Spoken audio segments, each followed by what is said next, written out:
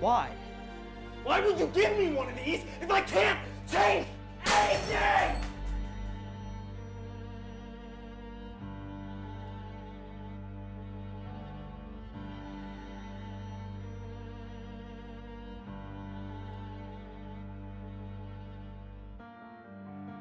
The bird is safe from anything it can't handle.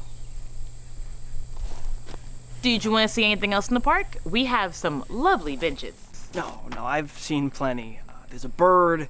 It's healthy, so healthy it can fight off a pack of coyotes. You have to pay for it.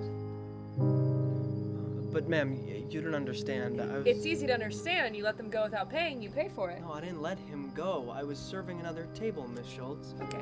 You always tell us that we should make sure everyone gets good service, and that other table, they were waiting on their food for a while. I was doing my job, Miss Schultz. There, there wasn't anything I could do. That, and that guy, I barely made $34 on this shift, and that guy ran up like a $60 tab. And, and uh, I have bills to pay soon, and I can't. I could, I could get evicted. I, I, I didn't room- ask for your life story.